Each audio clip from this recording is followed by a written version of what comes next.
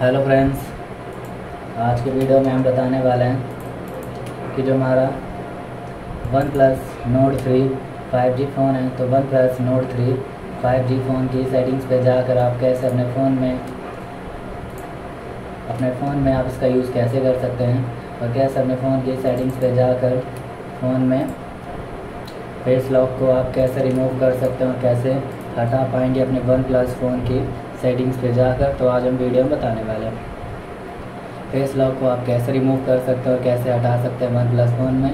तो video start करने से पहले हमारे चैनल को लाइक करें सब्सक्राइब करें, साथ में ही बेल आइकन दबाना ना भूलें। तो आइकन शो हो रहे हैं तो आपको स्वाइप करना है। स्वाइप करते ही आइकन से ओपन हो जाएँगे।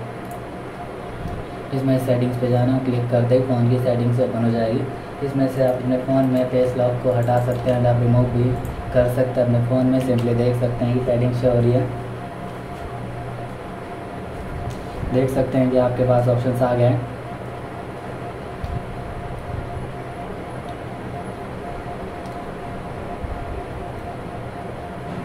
तो आपके पास ऑप्शंस आ गए जहाँ से फेस लॉक को आप हटा सकते हैं रिमूव कर सकते हैं। सिंपली सिक्योरिटी एंड प्राइवेसी पे जाना है आपको। सिक्योरिटी एंड प्राइवेसी पे जाकर अपने वन प्लस फ़ोन में आप वन प्लस फ़ोन में आप इमरजेंसी जो भी फेस लॉक है, उसको आप रिमूव कर सकते हैं यहाँ से डिवाइस अनलॉक सेटिंग्स पे जाना है। फिर आपको इस पर चले जाना है, जहाँ से आपका फेस लॉक सेटिंग्स आ जाएगी, इस पर क्लिक करेंगे। फिर इस तरीके से पासवर्ड डाल देंगे, जहाँ से डिलीट फेस डाटा का ऑप्शन आ जाएगा, यहाँ से फेसियल डाटा बेस डिलीटेड तो इस पर क्लिक कर देंगे, जो भी face data and face lock होगा, आपके फ़ोन से डिलीट हो जाएगा, हट जाएगा, जिसका आप यूज़ नहीं कर पाएँगे।